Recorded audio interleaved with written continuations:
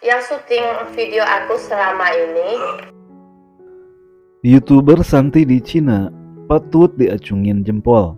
Pasalnya, dalam kurun waktu kurang lebih satu tahun, kini channel YouTube-nya tembus satu juta subscriber lebih.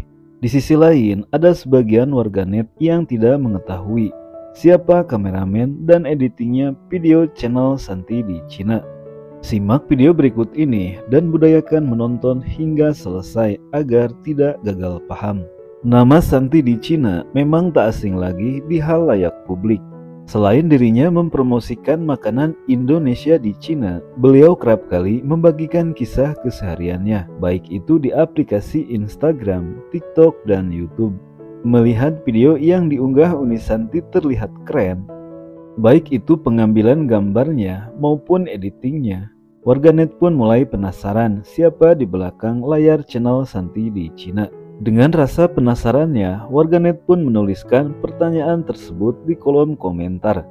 Yang syuting kamera siapa ya? Sudah ada yang kerjakan, tutur warganet. Mendengar pernyataan tersebut, Uni Santi pun menjawabnya secara live streaming bahwa yang syuting video ini Poci akan tetapi, awal mulanya berdiri channel Santi di Cina yang kameramen sekaligus editingnya Koko Joni atau suami Uni Santi. Berhubung Koko Joni kala itu sakit, jadi dibantulah sama Poci sebagai kameramennya. Hal itu pun Uni Santi sampaikan di live terbarunya. Yang syuting video aku selama ini si Poci ya.